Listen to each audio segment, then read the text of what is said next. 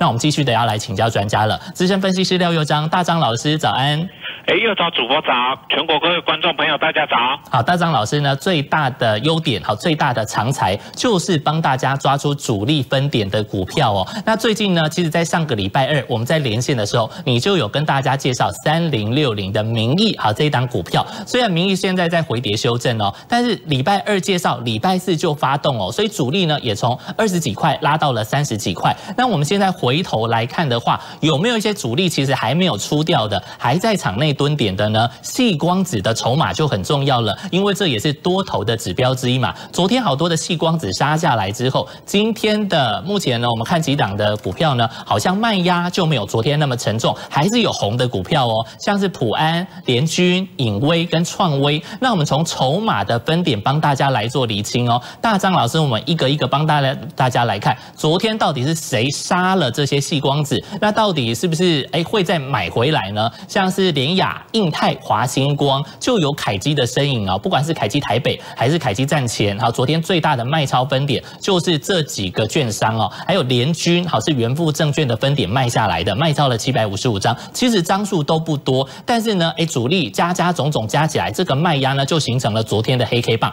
第二页当中啊，主力昨天有在卖的股票，包含了上权、重达 KY、光环还有利基，但是这个筹码分点相对来说就比较乱的，摩根大通、小有在。卖方，另外还有兆丰新竹跟玉山景美也有站在卖方。那大张老师从这两张帮我们来抽丝剥茧哦，哪些是主力可能会自救的股票呢？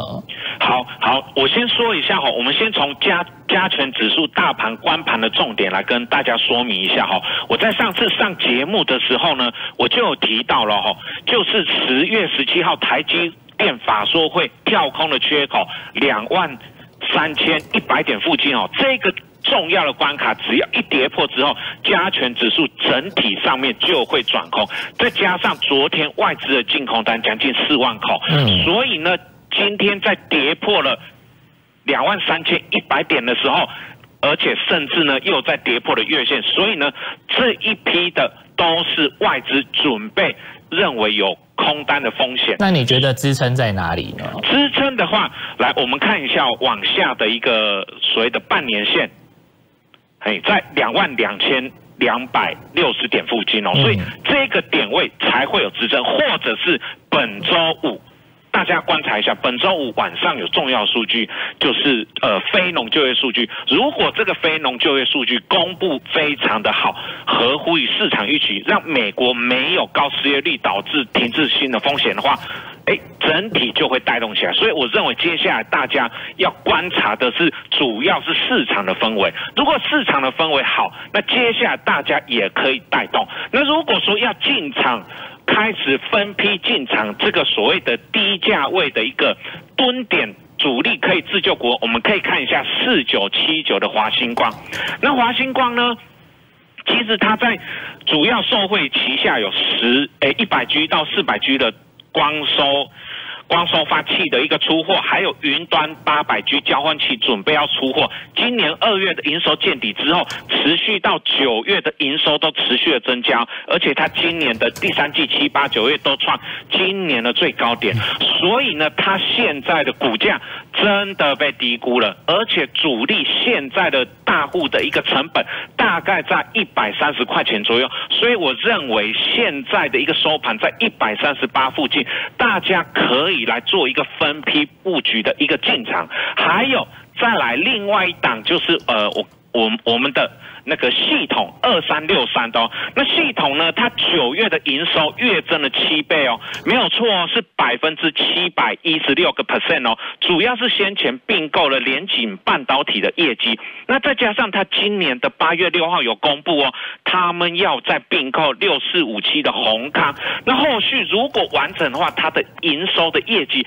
会再增加出来，所以呢，主力的成本呢，哎。也在七十五块附近，那刚好今天的股价就在附近，所以我认为各位观众朋友也可以来分批进场做一个布局哦。那未来的部分，等待加权指数整体的一个形成完成之后呢，很有机会诶，再带动一个整体的业绩上涨。那现在的系统的营收真的就是被低估，还有股价的部分哦，还有。呃，我们来看一下南子店哦，南子店这一档哦，它从底部。